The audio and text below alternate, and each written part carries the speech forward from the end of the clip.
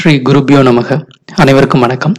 சம்ஸ்கிருத பாரதி நடத்தக்கூடிய பிரவேச பாடத்திட்டத்தில் ஒவ்வொரு லெசன்லேயும் வந்து ஒரு கதை வந்து குட்டி கதை கொடுத்து அதோட காம்ப்ரிஹென்ஷன் மாதிரி பண்ணி அதுக்கு பின்னாடி சில கொஸ்டின்ஸ் இருக்கும். அந்த கொஸ்டின்ஸ்க்கு வந்து நம்ம ஆன்சர் பண்ண முயற்சி பண்ணுறோம் அந்த வகையில் இப்போ மூணாவது பாடம் வந்து எடுத்துக்க போகிறோம் மூணாவது பாடத்தில் வந்து இருக்கக்கூடிய கதையும் அதை பற்றின அந்த கொஸ்டின்ஸ்க்கு ஆன்சரும் ட்ரை சொல்கிறதுக்கு நம்ம ட்ரை பண்ணுவோம்.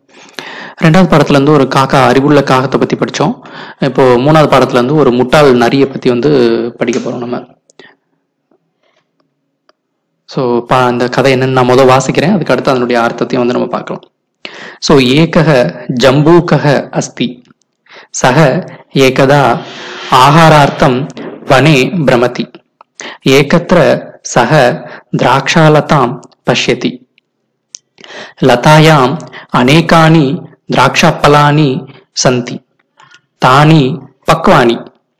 जम्बूकः चिन्तयति, अद्य मम द्राक्षाफलानां भोजनम् द्राक्षां लब्धुम् उपरि उत्पतति।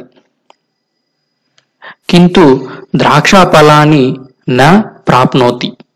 जम्बूकः पुनः पुनः उत्पतति।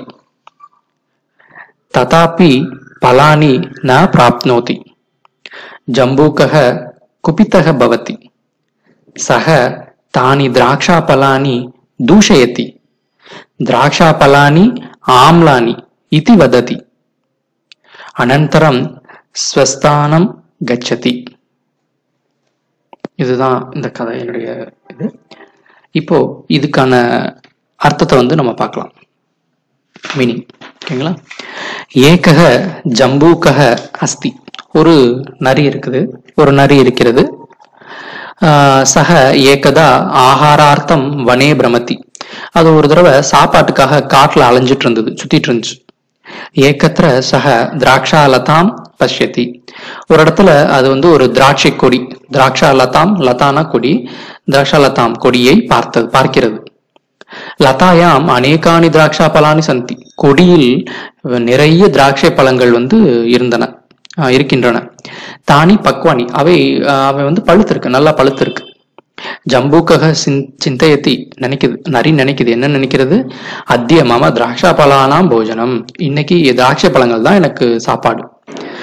திராட்சாம் லப்தும் உபரி ஆஹ் உற்பத்தி அதாவது அஹ், பழங்களை பறிக்கிறதுக்காக அது வந்து அஹ், திராட்சாம் லப்தும் உப்பரி உற்பத்தி பறிக்கிறதுக்காக உயரமா வந்து ஜம்ப் பண்ணுது உற்பத்தி ஜம்ப் பண்றது. கிண்டு திராட்சா பலானி நான் பிராப்தோந்தி ஆனா திராட்சை பழங்கள் கிடைக்கவில்லை. ஜம்புக்கக புனக புனக உற்பத்தி உற்பத்தி திரும்ப திரும்ப குதிக்கிறது.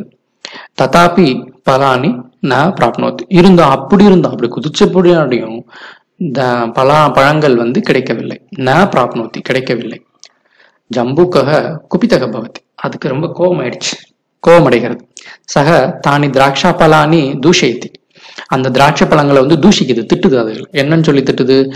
திராட்சா பலானி ஆம்லா சீச்சி இந்த பழங்கள் புளிப்பானவை அப்படின்னு சொல்லுது. இது அனந்தரம் ஸ்வஸ்தானம் க- ஸ்வஸ்தானம் கச்சதி. அதுக்கப்புறம் வந்து அதோட இருப்பிடம் சு- சுயமான இடம் எதுவோ அல்லது இருப்பிடம் என்னவோ அங்க வந்து போயிடுச்சு. இப்போ ஆஹ், இந்த கதைக்கு வந்து சில கேள்விகள் இருக்கு. அந்த கேள்வியை வச்சு அதுக்கு ஆன்சர் வந்து பண்றதுக்கு நம்ம டைப் பண்ணுவோம் ஜம்பூக்கக ஆகாரார்த்தம் குத்ராட்டத்தி எங்க தெரிஞ்சுச்சு அப்படின்னாக்கா வனே. வனத்துல வந்து வனே பிரமத்தி அல்லது வனே ஆட்டத்தி அப்படிங்கிறோம். ரெண்டாவது ஜம்பூக்கக கிம் பஷ்யதி திராட்சாலதாம் எதை பார்த்தது? திராட்சை கொடியை பார்த்தது. அப்ப திராட்சாலதாம் லதாயாம் காணி சந்தி லகாயம் அநேகானி திராட்சா பலானி சந்தி. கொடியில் அநேக திராட்சை பழங்கள் இருந்தன இருக்கின்றன. ஜம்புக்கக கிம் சிந்தைத்து என்ன நினைச்சது? அத்திய திராட்சா பலானி மம போஜனம். இன்னைக்கு இந்த திராட்சை பழங்கள் தான் என்னுடைய போஜனம் உணவு அப்படின்னு நினைச்சது. கடைசியில ஜம்புக்கக கிம் வதத்தி கடைசியில் என்ன சொல்லுச்சு? திராட்சா பலானி ஆம்லானி சீச்சி இந்த பழம் புளிக்கும் அப்படிங்கிற மாதிரி அந்த திராட்சை பழங்களை சொல்லிடுச்சு. அது வந்து அதுக்கு எட்டாதனால ஸோ இதுதான் வந்து இந்த பாடத்தில் இருக்கக்கூடிய கதை. வீடியோ பிடிச்சிருக்கவங்க லைக் பண்ணுங்க ஷேர் பண்ணுங்க. சேனலுக்கு சப்ஸ்கிரைப் பண்ணுங்க. ஸோ தட் ஃபர்தர் வீடியோஸ் வந்து உங்களுக்கு இம்மீடியட்டாக தெரியும்.